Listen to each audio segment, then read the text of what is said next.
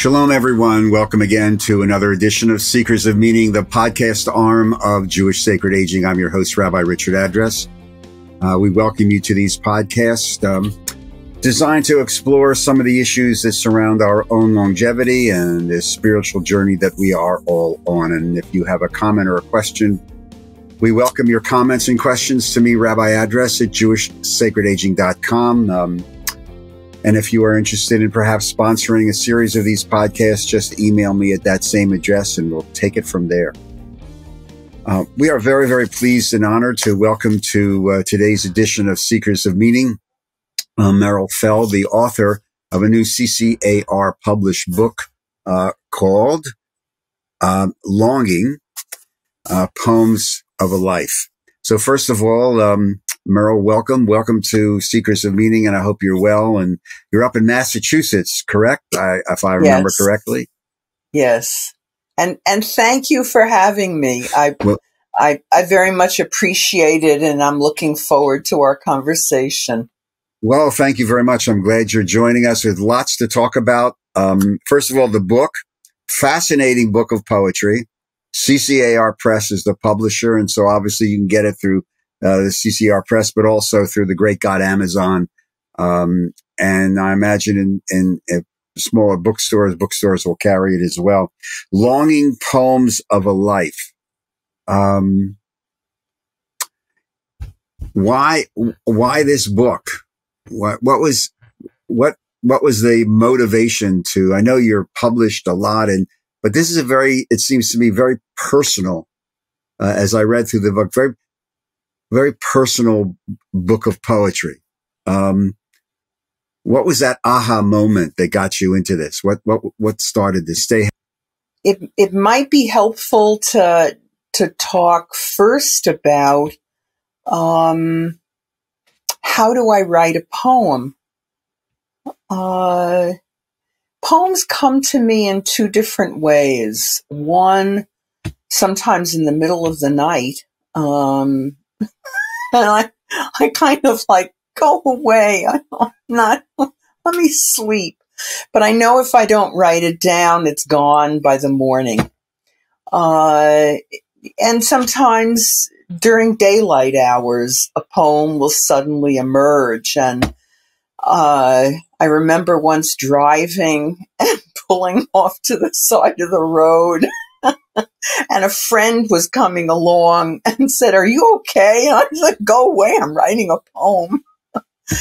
uh, so that's one way. The second way is sometimes I'm aware I haven't written in a while. Uh, and I dedicate some time when I won't be disturbed. And I sit with a pad and a pen and I just quiet myself and begin to go deep and listen and listen and go deeper. And there are words there that want to be spoken.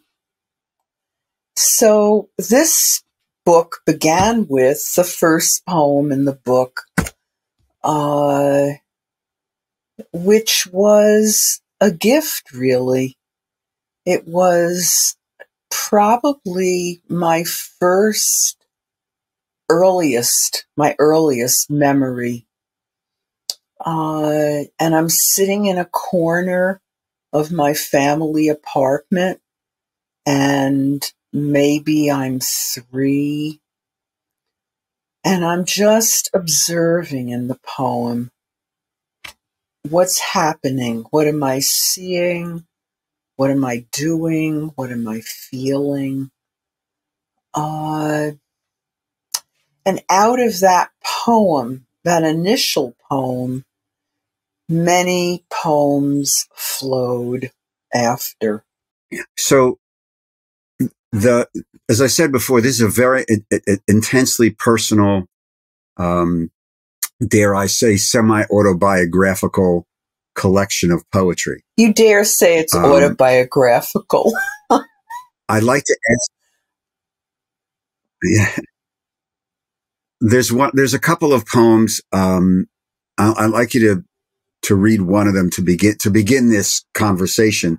That I think it's it's it's um, it touches the idea of time, but but beautifully. And in a lot of the work that we do in Jewish sacred aging, this concept of time keeps coming up over and over and over again in a variety of different ways, even before the pandemic.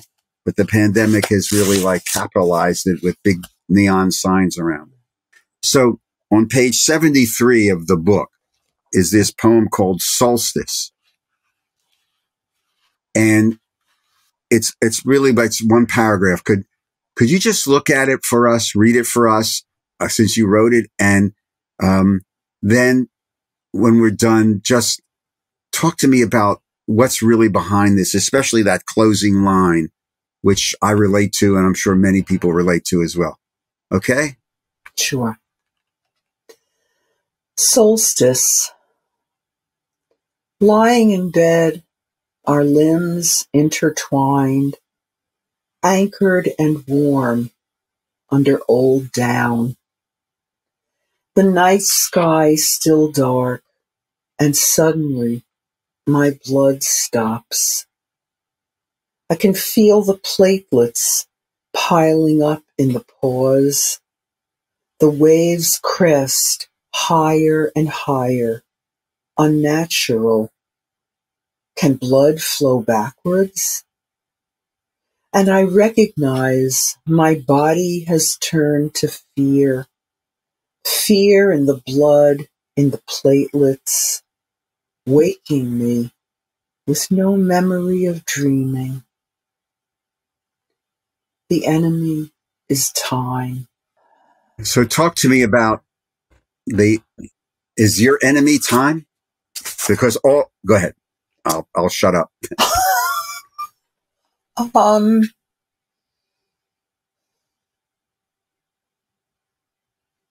Certainly, I think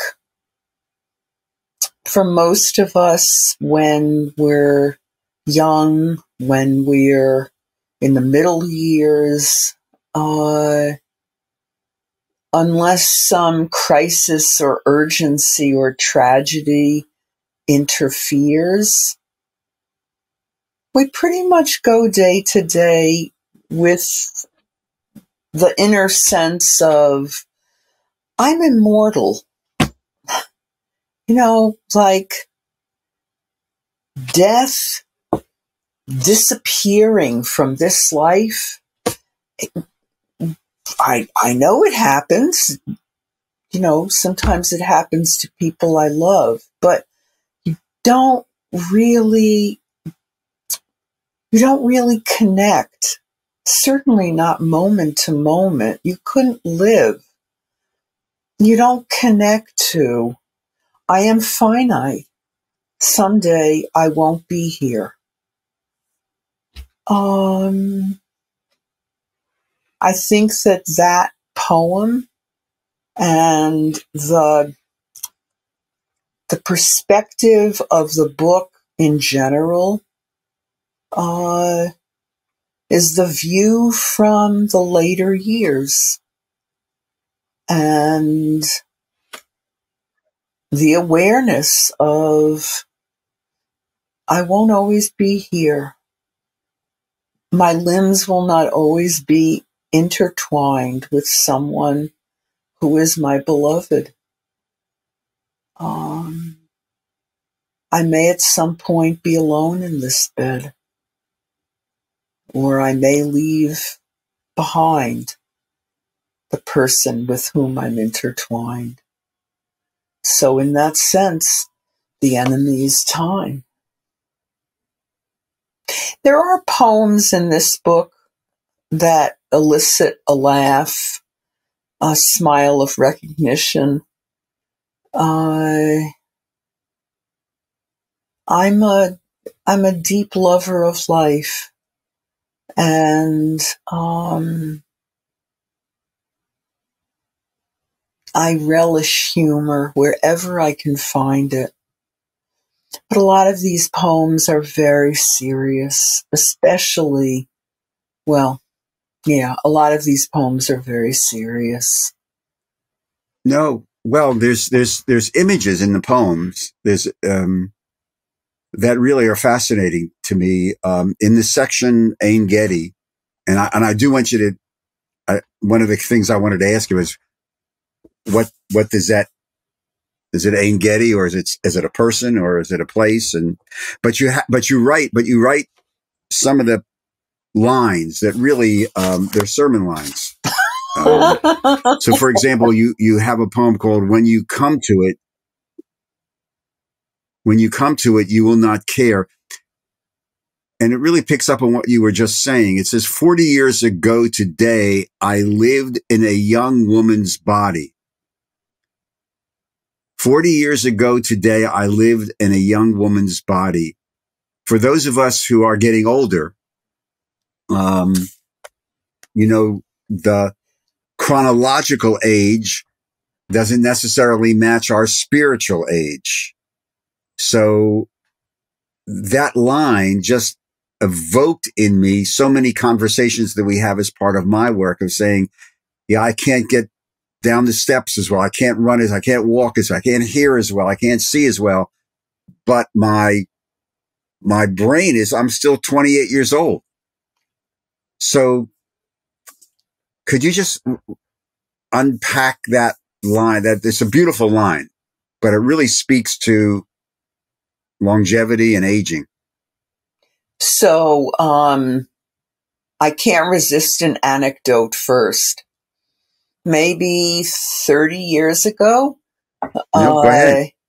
I, um, uh, I, w- I was speaking for a, a, a national women's organization, and it was a very large audience with an age range of literally like 20s to 80s, maybe 90s. And the person introducing me began addressing the audience with the following. She said, Next month, I want to tell you, we're having a program which will be of particular interest to those of you who are aging. Then she introduced me and I got up to speak and I said, I cannot resist. Could those of you who are not aging come speak to me after the program? I, I'm really curious to meet you. In other words, we are all aging. Yes. I mean, right. Um, uh, what was that poem about? You know, 40 years ago, I lived in a young woman's body. Uh, it was re-entering. I can't say the moment. I'd have to say the day when I gave birth to my first child. Um, and I lived in a young woman's body. Uh, and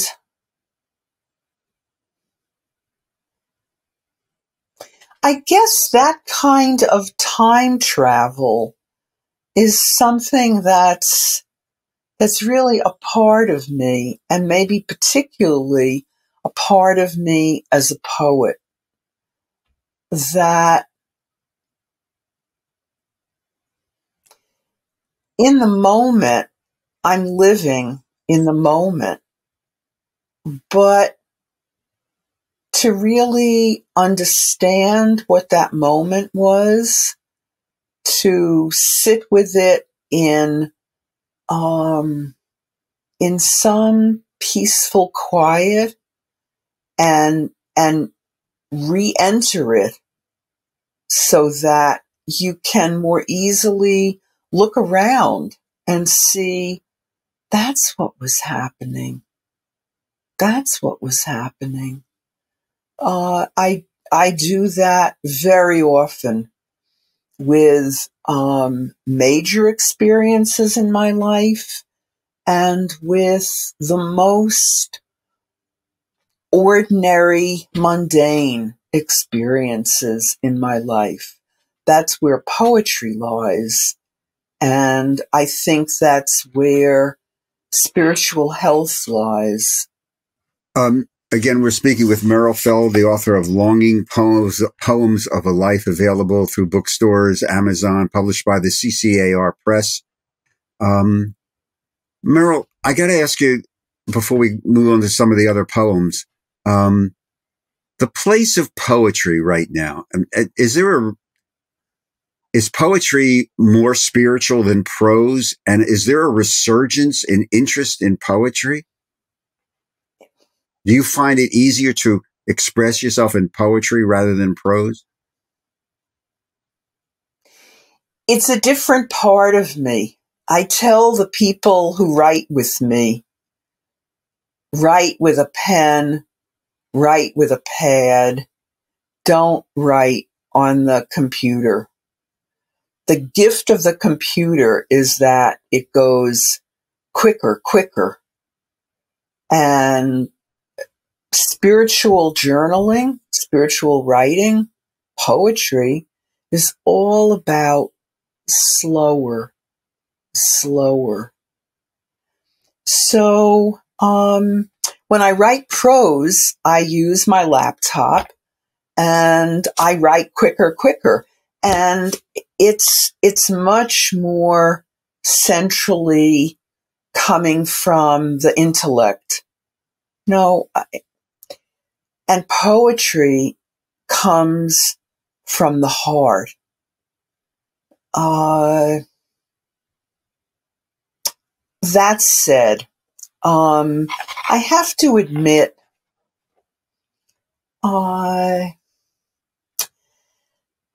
you know, I, I have, well, you may not know, I, I have poetry in many actually uh, contemporary prayer books from different movements. Um,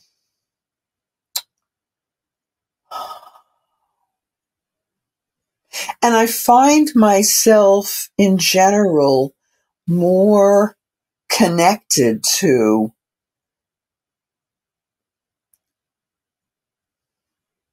the spiritual leaders of our times Thank you. Who is Lillian? Oh, because you have a section in your book called Lillian. Lillian was my mother. She was a beautiful woman. In the sense, I mean, you know, she was a a lovely looking person, but but she had a beautiful soul. Um and the section about Lillian uh, is ostensibly about the four days she was dying in the hospital in Clearwater, uh, where my parents were then living. Um, and I was 28, 29. Um, and it was my misfortune that that was my first death uh, because you learn a lot when you accompany the dying. And that was my first experience. And if I'd already had that experience with someone else, I would have had a little practice for when it happened to the person I was most connected to in my life um, literally by an umbilical cord, but by much more than that. So that section, the poems in that section, kind of move back and forth from the reality of that hospital room to moments in her life that were pivotal and moments in my childhood that were pivotal um, that involved her. There's some imagery in that section. I was struck also. There, there's a poem, the the first poem about in in the Lillian section about obviously in the hospital room with the straw. This followed by a section on that really is to me on memory. So you have this lovely poem when they're gone, do people know that they're remembered?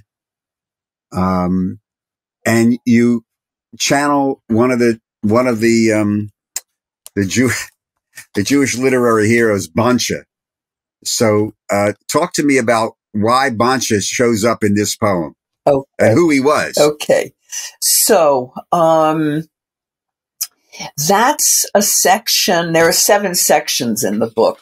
That section is, um, uh, kind of little stories within poems of people especially beloved to me um, and and moments that I shared with them. So uh, when people are gone, do they know that they're remembered? Is a poem about my relationship to Rabbi Max and Esther Ticktin, who were uh, really luminaries and pioneers in Hillel work. Uh, uh, you know, working with students on on college campuses. Um, Max was a Hillel director at the University of Chicago. Esther was a psychotherapist. Um, and this is about a visit that um, my husband Eddie and I made to them in the very first years of our marriage. We were living in Champaign Urbana uh, at the University of Illinois, where Eddie was Hillel director. And we had driven up to see, to Chicago to see Max and Esther.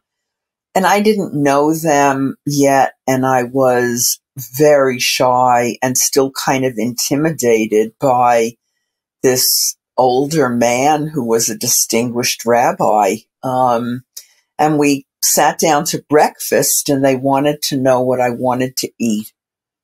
And I, I was literally, I, I was too, um, I was too timid to make a request. And finally they, they kind of got the gist of it. And I got cornered into saying, I'd like a roll with butter.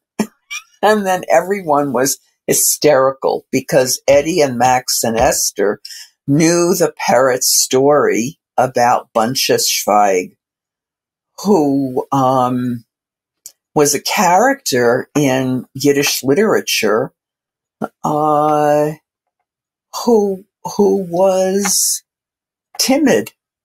Um, you know, all his life he just held back any needs he had and and he had kind of a terrible life um, and and in some circles he was considered like the epitome of the holy Jew who doesn't ask for anything whose needs are very small and constricted. Um, so he dies and he appears before the heavenly court.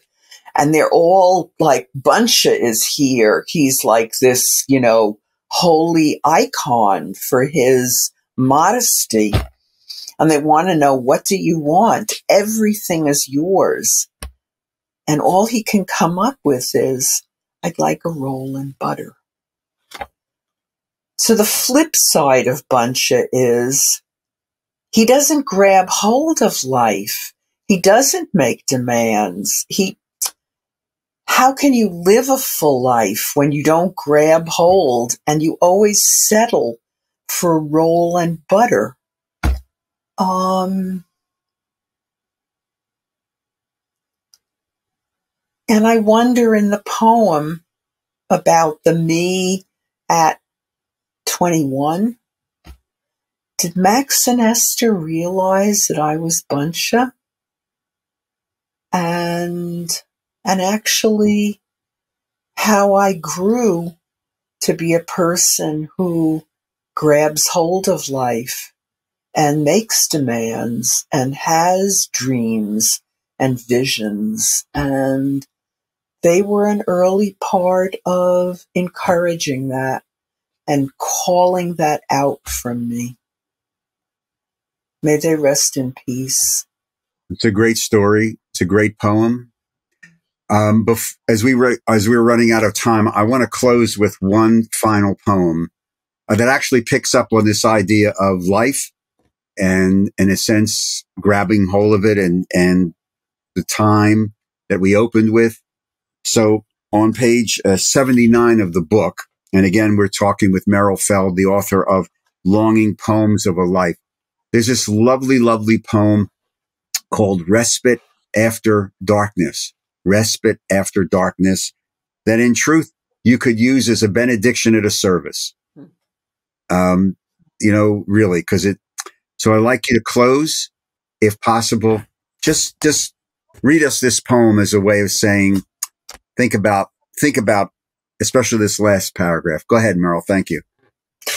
It's wonderful that you chose these two poems because, in a sense, they're bookends with one another um, and in conversation with one another. Respite after darkness.